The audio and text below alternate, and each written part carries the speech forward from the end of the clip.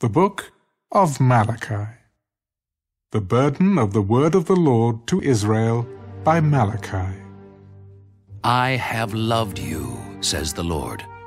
Yet you say, In what way have you loved us? Was not Esau Jacob's brother, says the Lord. Yet Jacob I have loved, but Esau I have hated, and laid waste his mountains and his heritage for the jackals of the wilderness. Even though Edom has said, We have been impoverished, but we will return and build the desolate places. Thus says the Lord of hosts They may build, but I will throw down. They shall be called the territory of wickedness, and the people against whom the Lord will have indignation forever. Your eyes shall see, and you shall say, The Lord is magnified beyond the border of Israel. A son honors his father, and a servant his master. If then I am the father, where is my honor? And if I am a master, where is my reverence? Says the Lord of hosts, to you priests who despise my name. Yet you say, In what way have we despised your name? You offer defiled food on my altar, but say, In what way have we defiled you? By saying, The table of the Lord is contemptible. And when you offer the blind as a sacrifice, is it not evil?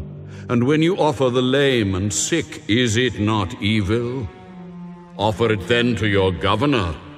Would he be pleased with you? Would he accept you favorably, says the Lord of hosts. But now entreat God's favor, that he may be gracious to us. While this is being done by your hands, will he accept you favorably, says the Lord of hosts.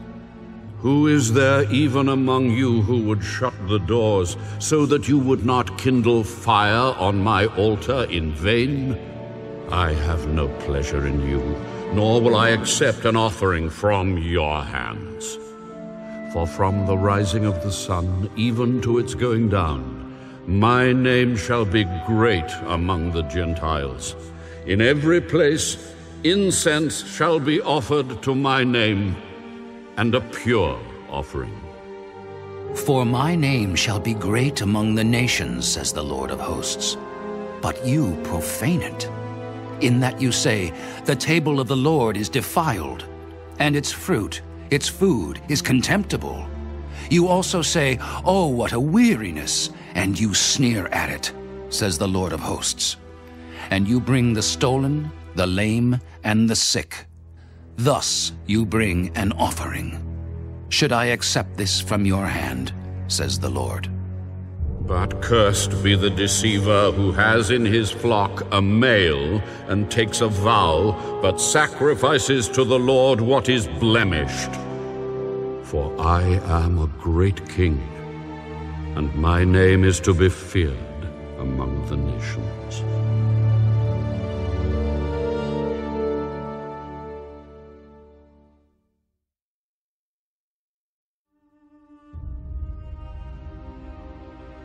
And now, O priests, this commandment is for you. If you will not hear, and if you will not take it to heart, to give glory to my name, says the Lord of hosts, I will send a curse upon you, and I will curse your blessings. Yes, I have cursed them already, because you do not take it to heart.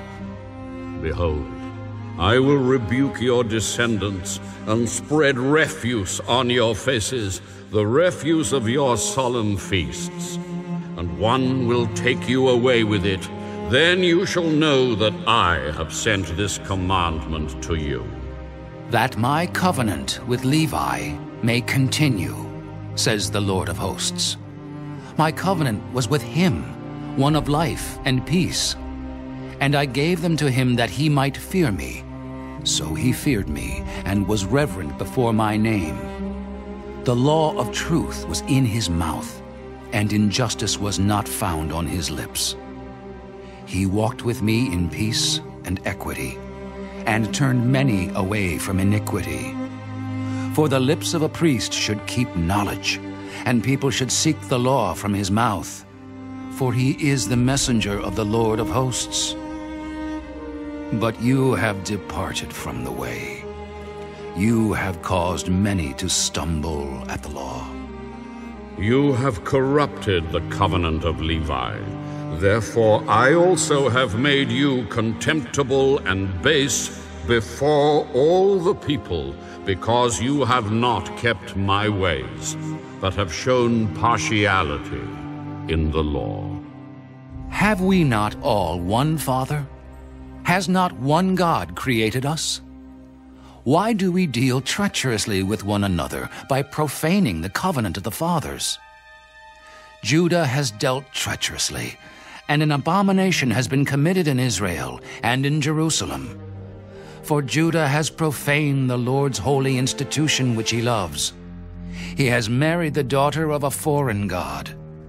May the Lord cut off from the tents of Jacob the man who does this, being awake and aware, yet who brings an offering to the Lord of hosts. And this is the second thing you do.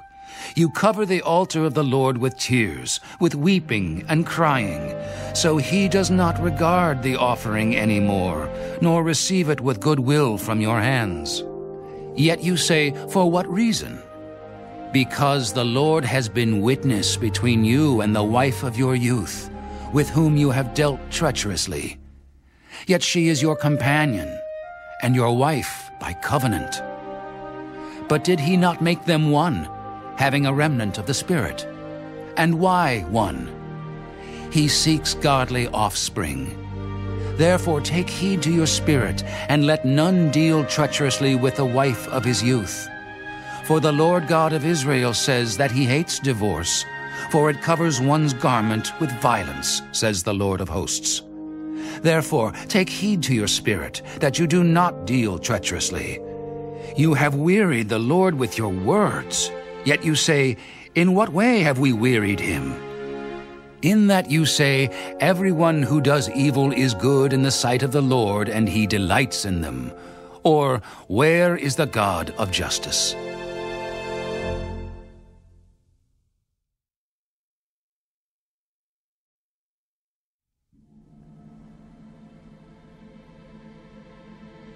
Behold, I send my messenger, and he will prepare the way before me.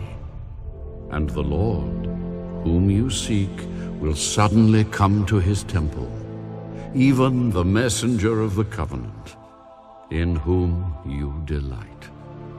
Behold, he is coming, says the Lord of hosts. But who can endure the day of his coming? And who can stand when he appears? For he is like a refiner's fire, and like launderer's soap. He will sit as a refiner and a purifier of silver. He will purify the sons of Levi, and purge them as gold and silver, that they may offer to the Lord an offering in righteousness. Then the offering of Judah and Jerusalem will be pleasant to the Lord as in the days of old, as in former years. And I will come near you for judgment. I will be a swift witness against sorcerers, against adulterers, against perjurers, against those who exploit wage earners and widows and orphans, and against those who turn away an alien because they do not fear me, says the Lord of hosts. For I am the Lord I do not change. Therefore you are not consumed, O sons of Jacob. Yet from the days of your fathers you have gone away from my ordinances, and have not kept them. Return to me, and I will return to you. But you said, In what way shall we return? Will a man rob God? Yet you have robbed me. But you say, In what way have we robbed you? In tithes and offerings. You are cursed with a curse, for you have robbed me, even this whole nation. Bring all the tithes into the storehouse, that there may be food in my house. And try me now in this, if I will not open for you the windows of heaven, and pour out for you such blessing that there will not be room enough to receive it. And I will rebuke the devourer for your sakes, so that he will not destroy the fruit of your ground. Nor shall the vine fail to bear fruit for you in the field, says the Lord of hosts. And all nations will call you blessed, for you will be a delightful land, says the Lord of hosts.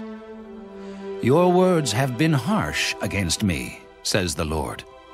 Yet you say, What have we spoken against you?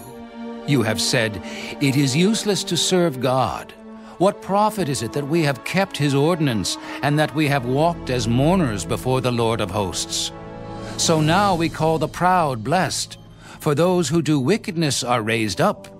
They even tempt God and go free. Then those who feared the Lord spoke to one another, and the Lord listened and heard them. So a book of remembrance was written before him for those who fear the Lord and who meditate on his name.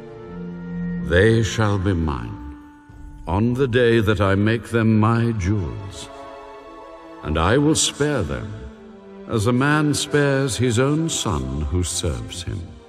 Then you shall again discern between the righteous and the wicked, between one who serves God and one who does not serve him.